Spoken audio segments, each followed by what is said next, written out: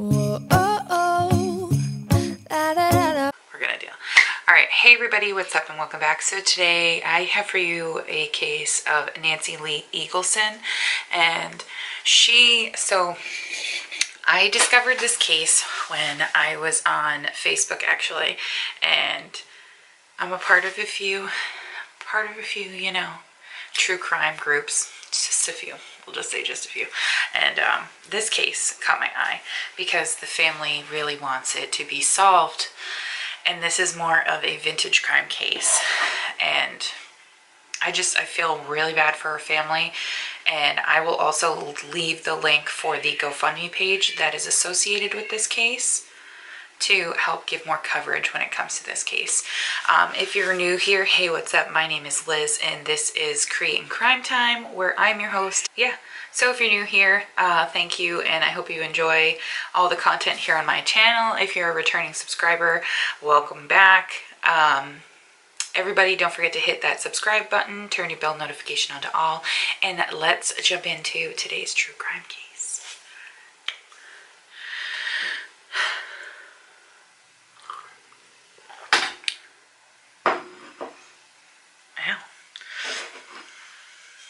That was fun.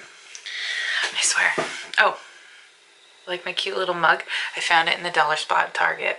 It was a two stack. The other one is black and it has stars all over it. It was for Christmas. Although the day after, not to sound like that mom, that mom, but um, the day after I went, they were all gone. So.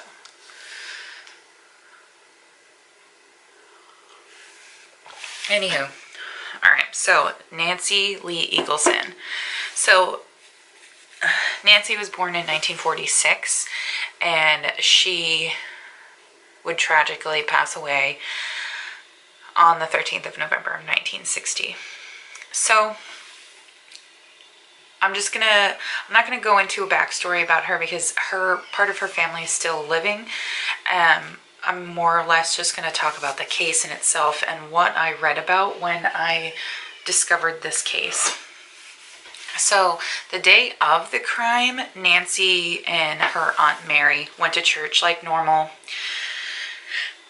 just went on with their day. Later on, Nancy and her sister Cheryl, uh, Cheryl was five at the time, they left the house around two eh, because they wanted to go see, they wanted to go to the theater.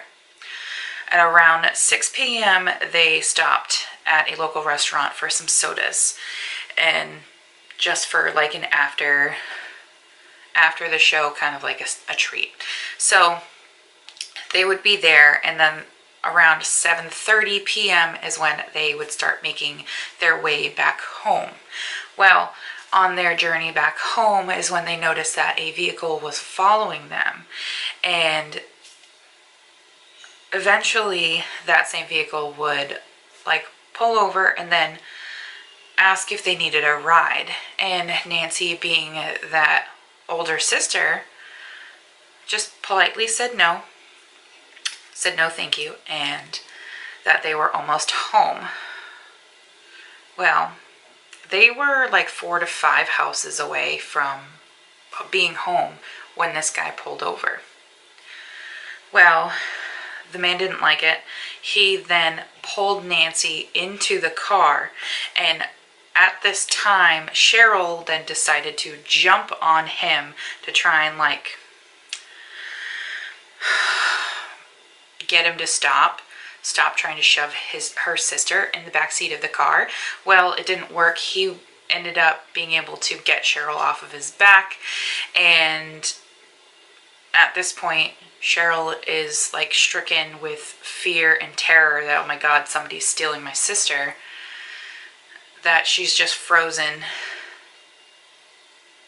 and just watches this man take off with her sister. She, uh, later, I saw that Cheryl felt like something was off and she just, she had this gut feeling something was wrong and that she was too late and that's when she she saw him drive off with her sister. So Cheryl, she then ran to a neighbor's house and this neighbor's name is Betty Larson, and she just kept saying that a man took her sister, a man took Nancy, like a man kidnapped Nancy, like so and she would also go to say that Cheryl that she watched helplessly as he sped off with Nancy. And so all that was left behind at the crime scene was Nancy's purse. And a search started almost immediately after she was taken. Unfortunately, she it would be about 5 hours until they would be able to find her. And you know when you when you read about a case and then you get to like the worst part about it when you find out what actually happened i felt like you know when that feeling in your gut when something drops and you're just like stunned? That's what i felt when i read this. So around 1 a.m nancy's body would be discovered by two raccoon hunters um,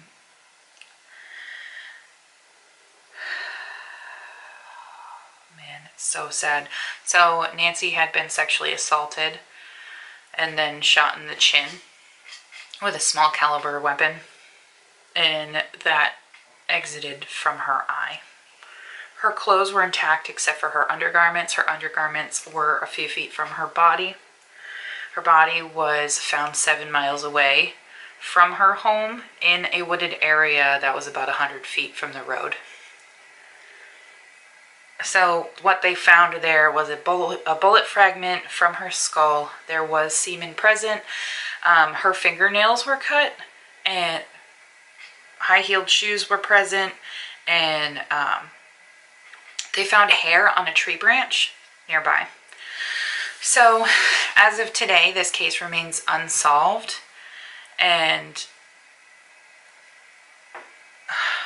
her family member um, name is Meryl Miller, is raising funds to exhume her body. Now, they need to exhume her body because there is biological DNA that they could extract from her body, what could possibly be left. And the reason being is because all of the evidence that was found is lost. Over the years, it just went missing.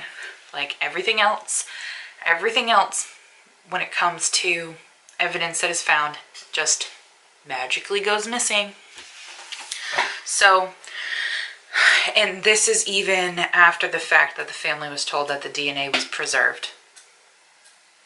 That they, it was preserved to hopefully test it later on, but everything was lost. Oh, this case has been unsolved for 61 years, and it's time that this case needs to be solved.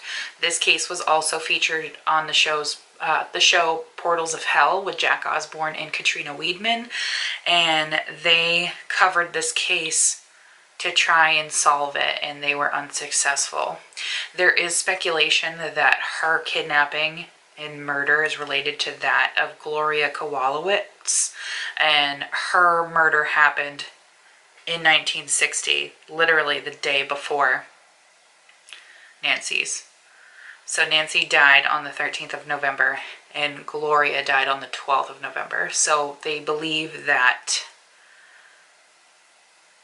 it's they believe that they were killed by the same that their their cases are related. We'll just say that. So yeah, that is the case of Nancy Eagleson. I I really hope that a lot more cold cases are able to be solved. I have noticed an uptick in cold cases that police are working on because of the technology that we have now versus what they had then. So, um, anywho, I hope you guys enjoyed. Don't forget to look in the description box. I do, I will have that link for the GoFundMe page. I find I it's really important that this case gets solved so anything will help and just follow the link, share the link on your and any social media to help get Nancy's case out there. So I hope you guys have a great day and I'll see you guys in my next true crime case. Bye guys. Oh,